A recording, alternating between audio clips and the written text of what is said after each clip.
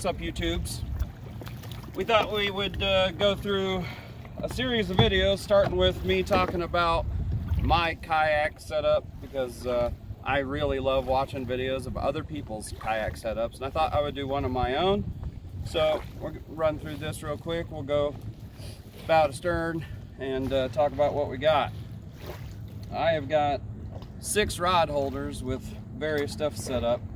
But starting in the front, I made some big changes this year and went to a lithium battery with the Yak Power solid state controller to do nav lights and uh, deck lights so that I can actually see some stuff in the night when we launch early in the morning and so that people could see me instead of uh, the little battery operated ones that we had the last couple of years.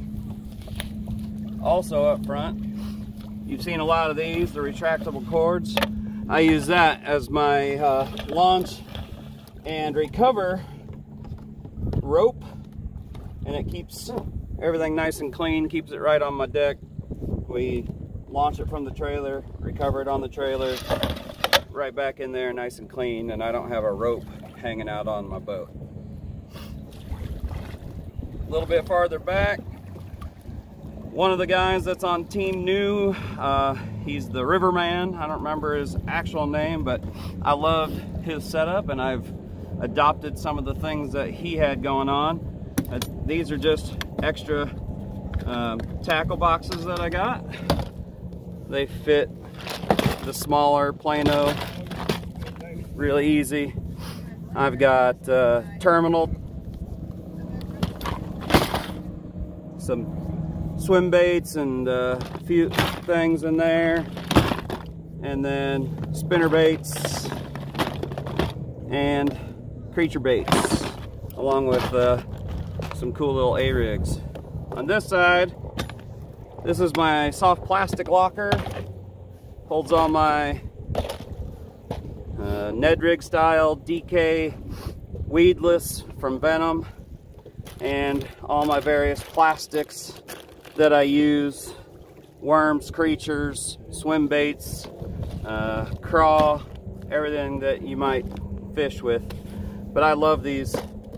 These were like $10 at Academy Sports and uh, just made some L brackets, drilled the holes for the the T-bolt that goes on the rails and it was, it was super easy to do. I love it. It freed up a lot of deck space and made my boat a lot cleaner and lighter. I got my Yak Attack net, the rubberized net. Love this thing. The hooks don't get stuck on it. Um, it's just really nice and it's nice having that forearm support when you're trying to bring a lunker into the boat. Of course I got my Hawg Trough but later on you'll see some uh, cool stuff that I'm building for this that nobody else has and hopefully that'll be available for everybody. Here we got the fish finder and chart. That's the Helix 5. Um, Chris and I both use the same unit. Transducer here so I can bring it up out of the water nice and easy. Everything's super clean. Uh, that Yak Power kit has some outlets that I put in the boat right there and I'm able to plug in the, the uh, fish finder and I have a 12 volt adapter in case I need to charge my phone or whatever.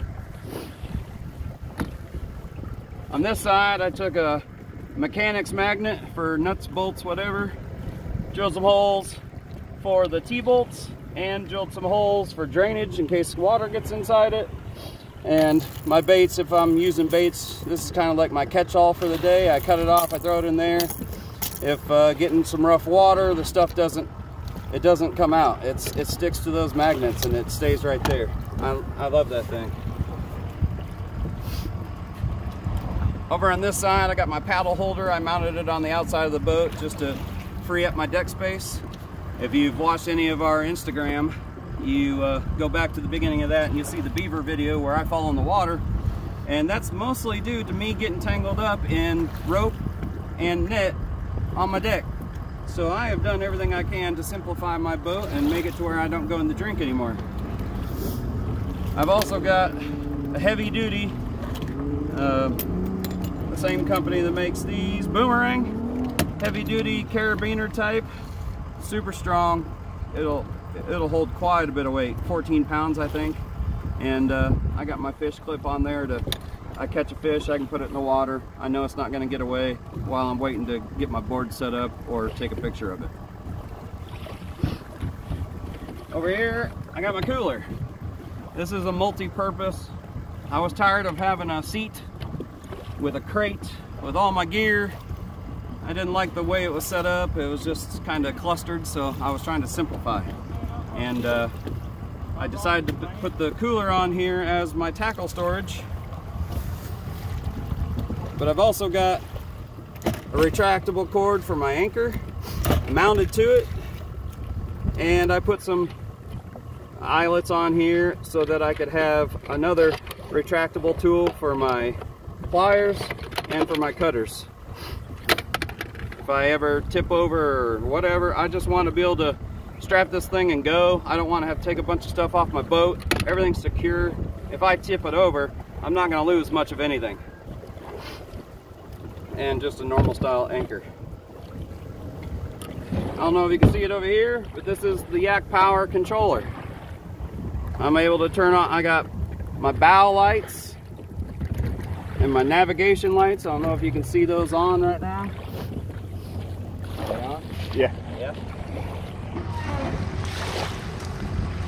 The Yak Power does sell some LED kits that are made specifically for their kits, but they're $80.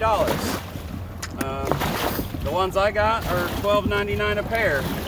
And I also have some white LED deck lighting. I can turn my power to my uh, Humminbird on from here, power to my trolling motor from here, all my powers right here at my side, easy to reach. I don't have to climb all over my boat to turn things on and off. My cooler can come off relatively quickly if I need to. I just got some Velcro straps with the carabiners on the track holds. And uh, if I needed to, I could take this completely off in about, I don't know, 30 seconds towards the back. Again, multiple rod holders because I don't like stuff just laying around the deck. Uh, I got my busy VisiPole for nighttime ops or low light. I had the NuCanoe uh, through hole wiring system and I have ch changed to the Yak Power and that that's why I have two ports back here. But this connection is so much more sturdy and tight than the connection that comes with the NuCanoe kits. I like this a lot more. And then I got a 34 pound uh, Minn Kota. If I'm not fishing a tournament that requires me to do paddle or pedal, um, I use my motor. I like being able to move around, recon places a lot, see a lot of different spots, and I can cover more ground than if I was just paddling. And that helps for practice for the tournaments. Front and back, I installed these eyelets so that once we get on the trailer, it takes about 15 seconds, throw my rope through there, tighten it to the trailer, it's ready to go. We can go on and off the trailer, launch really quick, we can move spots. That's something that's really big on tournament days. If we don't like where we're at, we can throw it on the trailer real quick, move to the next spot, and get going again. On this side, I got the anchor trolley. I think everybody uses the anchor trolley, um, especially kayak fishing, because you got to be able to position your boat sometimes to fish into the wind or out of the wind or into the current, out of the current, whatever you like. That's my setup. Make sure you like and follow our Twisted Hooks Instagram, Twisted Hooks Facebook. Check out this on our YouTube. There'll be a lot more to come. Thanks.